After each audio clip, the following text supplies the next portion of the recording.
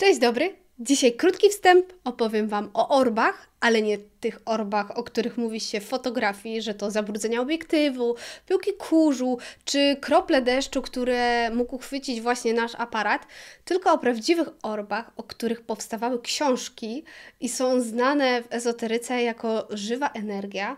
Z racji tego przygotowałam dla Was kilka nagrań, na podstawie których pogadamy o tym, gdzie te orby faktycznie widać, a gdzie widzimy kurz czy pyłki. To co, gotowi? Zatem intro!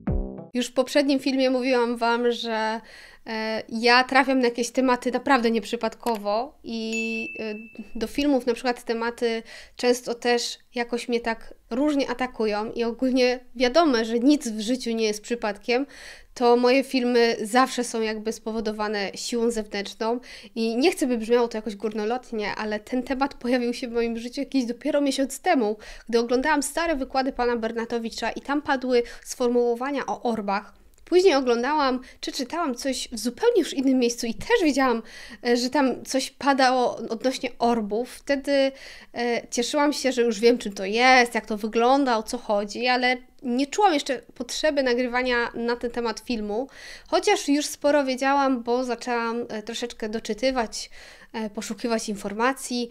I moment, który spowodował, że podjęłam decyzję, żeby nagrać taki film, to był, gdy zostało zadane mi pytanie odnośnie ordu, e, orbów na moim jednym z mediów społecznościowych, gdy stwierdziłam, że to bardzo dziwne, że komentarz pod postem dotyczącym aury e, dotyczy orbów to stwierdziłam, dobra, to już na pewno nie jest żaden przypadek, że to na mnie trafia.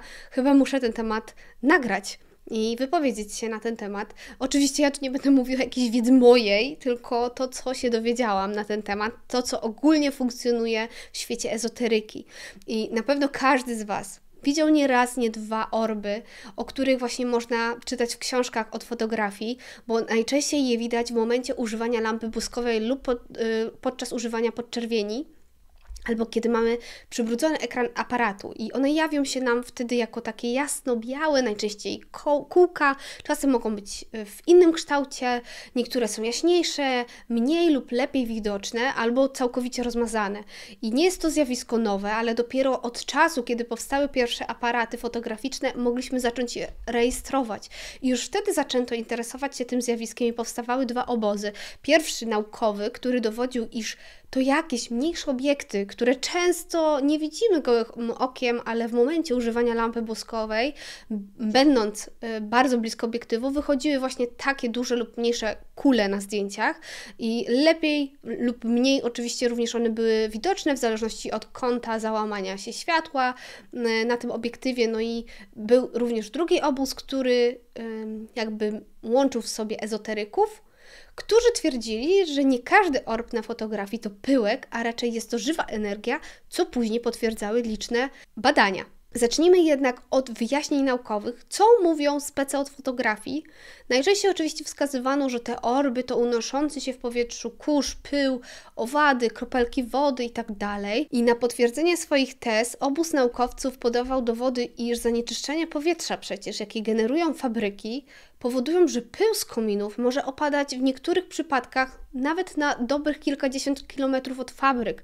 I wszystko zależy od siły kierunku wiatru, temperatury, wilgoci itd. Tak I mało kto jednak o tym właśnie pamiętał, gdy zwracał uwagę na to, że na jego zdjęciach czy nagraniach latają orby. I to nic dziwnego, że osoby, które mały, miały mniejszą wiedzę i mieszkały gdzieś właśnie w mniejszych miejscowościach, to podawały ten fakt, że to orby, a jednak no, bardzo często na takich nagraniach kamery łapały tylko i wyłącznie opadające zanieczyszczenia. E, Robin Van Pelt, profesjonalny fotograf oraz badacz zjawisk paranormalnych, wypowiedział się na ten temat bardzo obszernie na łamach jednej ze stron dotyczących e, duchów i ogólnie zjawisk niewyjaśnionych ghostvillage.com i powiedział on, że to zresztą, co wiemy i my aktualnie, że nie wszystkie orby są duchami, to większość właśnie z nich jest w rzeczywistości spowodowana tymi przyczynia, przyczynami ludzkimi. I istnieje e, wiele stworzonych przez człowieka naturalnych przyczyn, właśnie które mogą powodować pojawienie się tych kul na zdjęciach. I ten pan ma 26-letnie doświadczenie i przeszkolenie techniczne z fotografii oraz e, aż 22-letnie doświadczenie w badaniach paranormalnych. I on tłumaczył właśnie, w jaki sposób z punktu widzenia fotografii te orby, które nie są żywą energią, są sztucznym tworem. I gdy taka cząsteczka jak kurz czy kropla wody jest na odpowiedniej odległości w odpowiedniej osi od obiektywu, a ostrość złapana jest e, na konkretnym miejscu, najczęściej właśnie za tą cząsteczką, która mimowolnie pojawia się w obiektywie, wtedy odbijające się światło lampy daje efekt takiej jasnej, rozmazanej kuli. Dodatkowo musimy mieć na uwadze, że wiele pomieszczeń i ogólnie wiele środowisk zamieszkiwane są przez mikroskopijne owady, najczęściej przez nas niewidoczne i dopiero w momencie, kiedy odbija się od ich pancerza światło, widzimy takie jasne kule. I one mogą latać w różnych kierunkach, robić różne manewry i one są najczęściej mylone na e, wideo z kulami orb. I należy zatem zwrócić swoją uwagę w, na sposób, w jaki te orby się poruszają i jakie warunki e, panują w momencie robienia zdjęć czy nagrywania filmów. I jeśli te orby poruszają się w linii prostej, góra-dół albo po przekątnej, to możemy być pewni, że to krople deszczu lub śniegu, które właśnie, jeśli takie warunki panują na dworze. Jeśli te orby poruszają się jednak w różne strony, wirują przed obiektywem, są ledwo widoczne albo szybko znikają, to może to być kurz. Jeśli natomiast unoszą się góra-dół, to prawdopodobnie są to pyłki. A gdy szybko coś leci w jakimś kierunku, to może to być właśnie owad. No dobra, ale niektórzy mogą w tym momencie powiedzieć, że robili przybliżenie na takie obiekty i one ewidentnie wyglądają jak żywy twór, jak jakaś komórka wręcz i mają e, rację, ponieważ tak wygląda na przybliżeniu cząsteczka pyłu. Każdy najmniejszy ruch powietrza powoduje ich przemieszczanie się, bo są najlżejsze ze wszystkich innych obiektów, które możemy złapać w naszym obiektywie. I one, tak jak i te owady mikroskopijne, są no jednak naj, najczęściej mylone yy, i brane za orby. Co więcej, często ludzie mówią, że te kule to nie do końca okrągłe elementy, ale czasem przyjmują różne kształty. I to natomiast jest tłumaczone w taki sposób, że zależy to, w jakim kształcie jest przysłona obiektywu. Więc jeżeli jest w konkretnym kształcie, no to też te orby nie muszą być okrągłe, mogą mieć ten konkretny kształt. Kolejną rzeczą, na jaką zwraca uwagę pan Robin, badacz tych zjawisk niewyjaśnionych, to są zdjęcia, gdzie widać rozmyte obiekty. Bardzo często ludzie wtedy mówią o duchach w formie takiej ognistej energii, która nakreśliła jakiś kształt, jest to najpopularniejsza forma manipulacji fotografią. Najczęściej właśnie świadomie robiona, ale może być tak, że przestawi się komuś tryb, jakieś ustawienie w aparacie, a potem nie dowierza w to, co widzi, bo właśnie takie zdjęcia wychodzą. I e, one te zdjęcia są tworzone w momencie właśnie ustawienia długiego czasu otwarcia migawki, czyli tak zwanego długiego naświetlania. I żeby móc mówić o ognistej kuli, to musimy fotografować na przykład jakąś zapaloną latarkę. Nie widzimy bezpośrednio źródła światła, ale widzimy nakreślony wzór. To mogą być y, odpalone zimne ognie i ludzie teraz robią takie sobie właśnie zdjęcia ślubne najczęściej, że machają tymi zimnymi ogniami i wychodzą jakieś e, tam wzory. Może to być po prostu coś zapalone, może to być na przykład ścierka podpalona i ruszana i też nie widać źródła tego światła, tylko widać to, co jest narysowane. Mm, no, niekoniecznie musi to być coś takiego e, świecącego wprost. Może to być też coś odbite w lustrze albo innej płaszczyźnie, która odbija światło, i e, ten efekt też działa na, na inne mm, rzeczy, które się ruszają, bo możemy na przykład zrobić zdjęcie ruchu gwiazd i planet na niebie i wtedy taki jest efekt właśnie rozmytych e, gwiazd. Możemy zrobić efekt takiej rozmytej, jakby namalowanej pędzlem wody e, kiedy ustawimy sobie ten y, czas długiego naświetlania, żeby właśnie złapać ten ruch tej wody.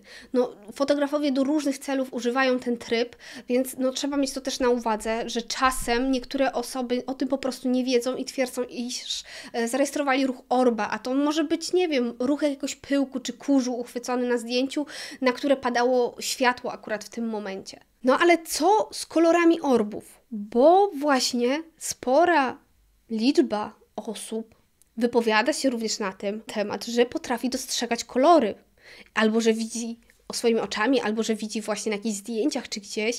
I tutaj badacz tłumaczył, że oczywiście wszystko jest wypadkową trzech elementów, które muszą współistnieć, abyśmy mogli jakiś właśnie kolor zarejestrować. I wpływ na to ma intensywność światła, częstotliwość długości fali, e, jaką emanuje ten e, obiekt oraz właśnie polaryzacja lub inaczej mówiąc kąt wibracji. W zależności od tego możemy widzieć konkretny kolor orba, zgodnie z tą tabelą, którą Wam tu wyświetlam.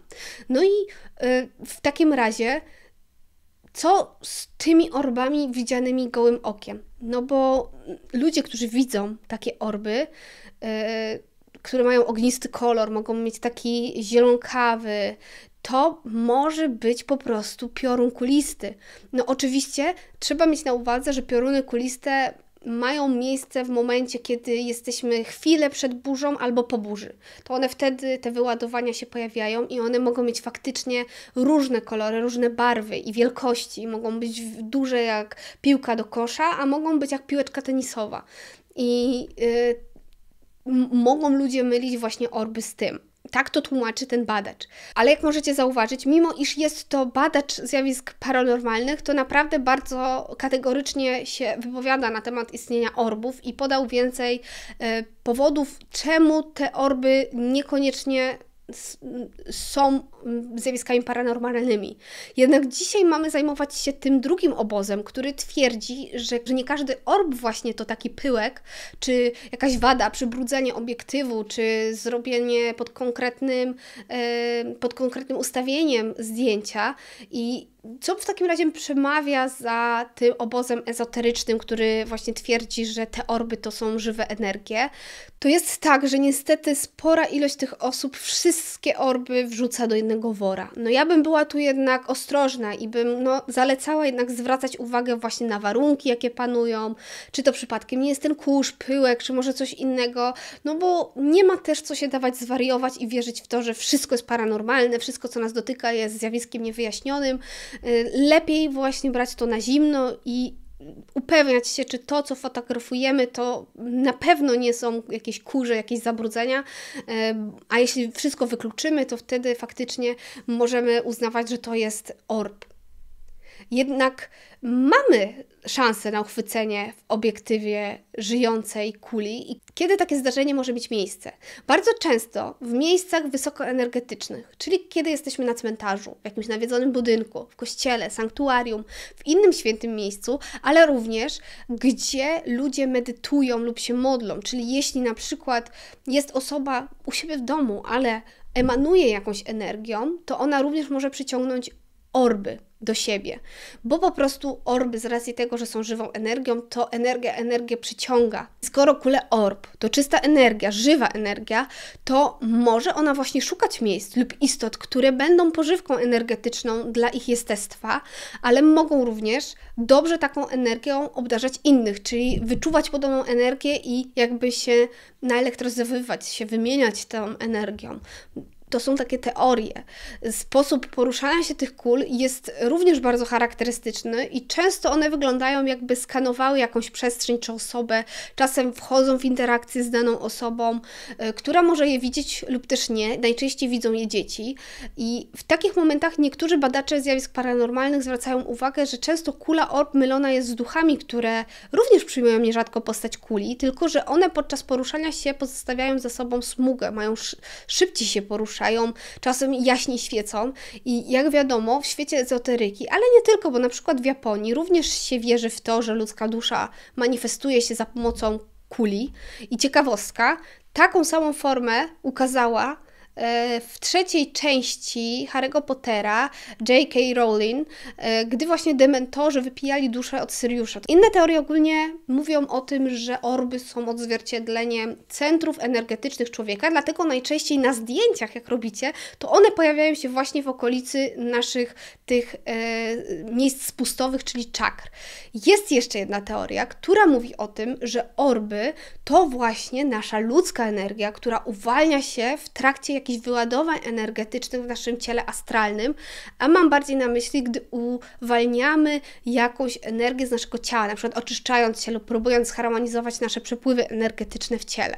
I nieważne, jaką teorię uzna się za prawdziwą, każda z nich mówi o tym, że ta kula związana jest właśnie z jakąś formą energii, która manifestuje się jako osobny byt. Niektóre osoby są w stanie dostrzegać nawet kolory tego orba i z racji tego została spisana i przeanalizowana lista kolorów, e, w jakich takie orby się pojawiają. I tutaj Wam wyświetlę tą listę, nie będę jej omawiała na głos. Jeśli Wy widzicie jakieś konkretne orby, jakieś mm, widzieliście, macie zarejestrowane, jesteście w stanie e, też opowiedzieć historię przekazaną przez kogoś, że jakiś kolor widział, no to tutaj macie wyświetloną kolorystykę i możecie na podstawie tego zdiagnozować, co ten orb, jaką energię mógł nieść ze sobą. Istnieje również taka teoria, że orby są statkami obcych cywilizacji albo czymś na kształt dronów, które właśnie badają różne przestrzenie lub ludzi, a wiąże się to z tym, iż jest przekonanie według przekazów niektórych cywilizacji pozaziemskich, przykład od Ramty czy Tao z misji, że statki wyższych, rozwiniętych cywilizacji są eteryczne, co oznacza, że mogą się dematerializować stawać się, czyli też niewidzialne mogą i przyjmować jakieś konkretne kształty, na przykład powiększać się lub zmniejszać. Ale jeśli na przykład statki nie za bardzo Wam odpowiadają, ta teoria, to pozostając ogólnie w tym temacie pozaziemskich istot, może to właśnie odwiedziny wysoko rozwiniętych cywilizacji i obserwacja nas pod postacią takich energetycznych kul, bo mogą oni wychodzić pojawiać się jako ciała astralne, jako duchy w innych wymiarach albo na innych kategoriach planet. Kto wie? Dla każdego jednak ta teoria może się wydawać nierealna i większość woli y, kojarzyć orby z duchami albo jakąś bliżej niepojętą energią. Natomiast każdy, kto miał do czynienia z tematem orbów, zastanawia się na pewno na tym, co te orby od nas chcą, po co one się pojawiają, czy one przychodzą w ogóle w pokojowych zamiarach, czy chcą nam coś przekazać. I nie ma jednoznacznej odpowiedzi na ten temat. Możemy jednak się domyślać, a najlepiej e, właśnie poznać zamiary takiej kuli można po tym, co będziecie odczuwać, gdy ona będzie w waszym otoczeniu. Jeśli dreszcze, zmiana temperatury, niepokój, jakiś zapach nieprzyjemny, to może to być y, duch, a nie orb albo istota z innego wymiaru, która ma niekoniecznie dobre zamiary względem Was. Nawet pozytywne duchy, które się pokazują w Waszym otoczeniu, mogą powodować gęsią skórkę, nie, odczuwanie niepokoju, ponieważ to jest zbyt z innego wymiaru, nie z naszego świata i on może tak oddziaływać na nas, że nasze ciało astralne go widzi, my natomiast fizycznie jesteśmy w stanie tego odczuwać. Bardzo łatwo jest się takiej energii pozbyć, nie trzeba robić jakichś oczyszczań domu ani nic takiego, wystarczy powiedzieć, że się nie życzy, żeby taka energia była wśród Was, że prosicie, żeby Was zostawiła w spokoju, bo na przykład się boicie, czujecie strach i chcecie zostać e, sami, żeby Was opuściła. Najczęściej, mm, jeżeli te byty nie są jakieś demoniczne ani nic takiego, to one faktycznie odchodzą jeśli to są jakieś demoniczne byty, to tutaj już może być większy problem i możliwe, że będzie trzeba skontaktować się z jakimś medium, czy w ostateczności z jakimś egzorcystą, ale to już jest e, temat nie na ten odcinek. Jeśli natomiast odczuwamy albo jakąś przyjemną energię, taki spokój, wyciszenie, e, nie, wy, nie czujemy dyskomfortu, albo w ogóle totalnie nic nie czujemy, to może to być faktycznie orb, czyli jakaś taka energia lepsza dla nas, albo całkiem dla nas neutralna. E, neutralna może być też w momencie, kiedy to jest ten sam pokład energetyczny, kiedy nasz. I wtedy taki orb nie jest przez nas w ogóle wyczuwalny. Może być też tak, że te orby niosą za sobą jakiś impuls energetyczny związany z jakąś informacją, którą nasze ciało astralne pobiera, ale my na płaszczyźnie fizycznej nie jesteśmy w stanie tego wyczuć. Mm, może te orby właśnie, ta istota światła, jaką my sami też jesteśmy, przychodzi właśnie w celu jakiejś komunikacji z nami, jak to mówią na przykład przekazy od ramty. Jeśli ktoś z Was wie coś więcej na ten temat, to ja jestem otwarta na komentarze pod tym filmem. Jest książka, która skupia się również na tematyce orbów, więc jeśli kogoś z Was interesuje ten temat, to tutaj wyświetlam Wam tytuł tej książki i okładkę. E, nie znalazłam jej w formie polskiej, więc e, no niestety nie mam tłumaczenia do tego. Przejdźmy teraz natomiast do analizy filmów. Przedstawię Wam najpierw te filmy, które nie są orbami, a raczej pokazują pyłki i kurz, a potem skupimy się na filmach, w których już możliwym jest, że widzimy orby albo duchy w formie kul. Zrobimy to w formie takiego lektora do tych nagrań, więc jeśli ktoś mnie słucha w formie podcastu, to może od tego momentu lepiej e, zerkać w ekran, bo będą, myślę, że ciekawe nagrania. Niektóre nagrania są e, właśnie znalezione w internecie, niektóre nagrania są od osób prywatnych, które otrzymały E, ja jeszcze, zanim Wam to puszczę, to chciałabym się podzielić taką z Wami informacją, że sama kiedyś zarejestrowałam coś, co mogło być orbem, ale nie jestem pewna. Dwa razy widziałam taką małą kulkę, która e, poruszała się od mojego syna.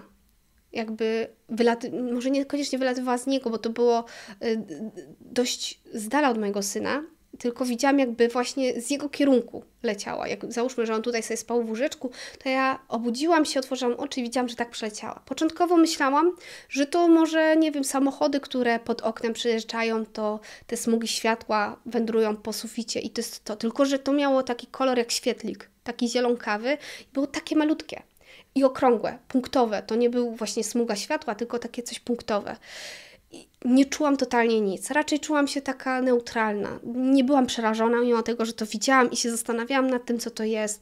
No i zastanawiam się dość długo, co to jest, czym to mogło być, czy, czy, to, czy to nas coś tutaj właśnie odwiedziło, czy, czy może to jest jakieś zjawisko paranormalne. Powtórzyło się to chyba niecały tydzień później, że znowu coś takiego widziałam, też w okolicach mojego syna gdzieś, gdzieś latało i to dosłownie tak przelatywało. I się zaczęłam zastanawiać, czy w takim razie to nie był orb. Zielonkawy taki, więc dość pozytywny ale nie pamiętam, jaka była wtedy pogoda, bo może być tak, że to było po burzy lub przed i może to był jakiś mały piorun kulisty, tylko że nie słyszałam żadnego dźwięku, a z piorunami kulistymi y, często wiąże się dźwięk takiego trzaskania błyskawic. I też tak szybko mignęło po prostu, więc nie mam pojęcia, co to jest. Do dzisiaj nie wiem. Aktualnie, odkąd trafiłam na ten tematów orbu, temat orbów, to bym się spodziewała, że to właśnie było to, e, ale nie wiem więc e, nie odpowiem Wam na to pytanie. Może Wy znacie odpowiedź. Ja szukałam w internecie, nie znalazłam informacji, co to może być. Więc do dzisiaj nie wiem. A ja Was zapraszam teraz na krótkie wideo tego, co udało mi się zebrać i do analizy tego. Zobaczcie, tu mamy pierwszy film. Strzałką Wam pokazuje, co się przeleciało. Teraz będziemy widzieć kolejne rzeczy. Moim zdaniem to nie są żadne orby, tylko jakieś latające, poszczególne owady, dlatego że jest tego bardzo mało i pojawia się w różnych miejscach pod sufitem bardzo wysoko, a te bliżej kamery to widać, że to jest jakiś kurz czy pyłek unoszący się. Tutaj jest drugie nagranie i to ewidentnie są jakieś pyłki czy kurz, musi być włączony jakiś nawilżacz powietrza czy coś, bo zobaczcie jak to się rusza, to jest drugie nagranie, y, jakby z drugiej kamery te same nagranie. To tak się porusza po prostu jak przy ruchu wiatru, czyli coś musi być włączone Natomiast te nagranie, zobaczcie, jaka smuga zostaje, więc to na pewno nie jest już pyłek czy kurz. Prawdopodobnie może to być duch z racji tej smugi. Na kolejnym nagraniu, zobaczcie sobie teraz, jest takie same coś, co się porusza mm, ze smugą. Ja tu przyspieszyłam trochę ten filmik, żeby zobaczyć właśnie ruch tej, tego orba. No moim zdaniem to też by musiał być coś w stylu ducha, może to jest faktycznie tutaj orb, bo tak porusza się, szukając jakby, o, zobaczcie, tam była taka analiza krótka. E, tutaj natomiast to nagranie jest bardzo interesujące. Autorzy tego nagrania wypowiadali się, że myśleli, że to jest jakiś pająk zwisający i nawet szukali, czy przypadkiem nie ma jakiegoś gniazda pająków, ale nic nie znaleźli. Kolejne nagranie, tu widzimy leżące dziecko na łóżku. To jest nagranie odesłane przez jedną z moją widzkę, panią Edytę. I tu coś, co Wam wskazałam, się porusza. No jest to interesujące. Na dole pod materacem widać jakby drugą część tego, co się złączyło albo to jest orb, albo to jest coś, co jest bardzo blisko obiektywu kamery, chociaż wy tego nie słyszycie, ale tam było słychać płacz dziecka, które ewidentnie było przerażone e, na tym nagraniu, więc możliwe, że to faktycznie było i dziecko to wyczuwało albo nawet widziało, że coś takiego ma miejsce w pomieszczeniu, więc jest to dość przerażające nagranie. Kolejne nagranie jest już, jak widzicie, z telefonu. Tutaj bym podejrzewała bardziej niż, że orby, że to mogą być faktycznie jakieś duchy, ponieważ jest ta smuga, jest dość tego sporo, to jest na powietrzu, na wolnej przestrzeni, niedaleko są cmentarze, ale też mm, muszę Wam powiedzieć, że temperatura tego dnia, bo to było 18 listopada tego roku nagrywane, na bieżąco. To była kamera, która pokazywała, co w tym miejscu się dzieje aktualnie. E, tam coś w ogóle przebiegło w tle. Mm, to y, właśnie rejestrowała takie dziwne orby albo jakieś dziwne właśnie duchy, no bo była temperatura na minusie, więc no owady żadne nie powinny latać w takiej temperaturze. To już jest y, no listopad, późny listopad już były naprawdę temperatury na minusie, zresztą jak wiecie, e, pewnie pamiętacie, że już się zaczęły takie temperatury. Nie mogę Wam powiedzieć, gdzie to było z racji na chronienie prywatności, no ale zauważcie, co tutaj widać, jakie to są dziwne ruchy. No ja bym obstawiała jednak, że to albo orby, albo duchy, są, na pewno to nie są jakieś owady, czy pyłki, czy coś takiego, chociaż no mogę się mylić. Ciekawa jestem bardzo, co Wy na ten temat sądzicie. Te nagranie jest dość długie i jest sporo tego zarejestrowane, nie mogłam jakoś przerwać nagrywanie. No jak widać, sporo tego się tutaj dzieje. One mają takie łukowate ruchy, e, bardzo szybkie i zostaje taka smuga za nimi. To nie jest dodane, bo zobaczcie, że w prawym górnym rogu widać było czas, który się zmienia. A ten jest najfajniejszy właśnie, który mi się udało zarejestrować, taki zgzakowaty wręcz ruch. E, zaraz będzie przejście do kolejnej kamery z tego samego ośrodka, ale jest inna kamera z innej strony, więc zobaczcie tutaj, również będzie można zauważyć ruch tych orbów bądź duchów. Ciekawa jestem w ogóle, co Wy na ten temat sądzicie. Czy to według Was są faktycznie jakieś istoty yy, energetyczne, czy może faktycznie jakieś robaki? Yy, jedna z osób która ze mną oglądała te nagrania, to mówiła, że to muszą być jakieś pajączki albo robaczki zawieszone na kamerach. Tylko dziwne, że na wszystkich kamerach, które oglądaliśmy, coś takiego się działo, te co, co były z dworu.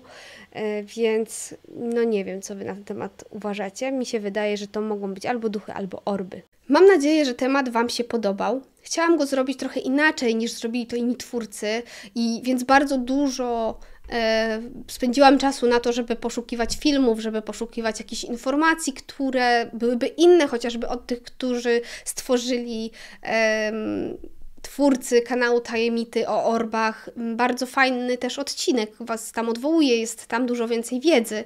E, natomiast ja nie chciałam powielać tych informacji, które są ogólnie, ogólnodostępne właśnie w internecie. Chciałam coś więcej Wam powiedzieć, natomiast no nie da się wymyślić czegoś nowego, skoro tylko takiej mamy informacje, a no niestety temat orbów, mimo tego, że one są prawdopodobnie z nami od zawsze, to wiemy o nich dopiero od czasów fotografii, a odżył ten temat w świecie ezoteryki dopiero w latach 90., więc naprawdę ta wiedza jest jeszcze taka dość skromna i nie da się nic więcej wynaleźć na ten temat. E, bardzo dziękuję ogólnie za możliwość podzielenia się na moim kanale tymi filmami z prywatnych archiwów e, od pani Edyty i od osoby bardzo mi bliskiej, która chciała pozostać anonimowa. Zapraszam na moje inne media społecznościowe, tam pojawią, tam pojawiam się częściej, więcej mówię, czasem jakieś ciekawostki Wam pokazuję z zakulis tworzenia filmów albo jakąś wiedzą mm, dodatkową dzielę. Jeśli film i moja ogólnie twórczość Wam się podobała, to proszę o łapkę w górę, o jakiś komentarz. E, można napisać właśnie w komentarzu, czy się widział kiedykolwiek na żywo Orba, albo w ogóle na jakimś nagraniu, albo czy się ma jakąś większą wiedzę na ten temat. Zachęcam również do zasubskrybowania mojego kanału, jeśli jeszcze jakimś cudem nie subskrybujecie. Przypominam również o kliknięciu w dzwoneczek, żeby częściej widzieć moje filmy. No i ja bardzo Wam dziękuję za oglądanie. Do zobaczenia w przyszłym filmie. Cześć! Come check this.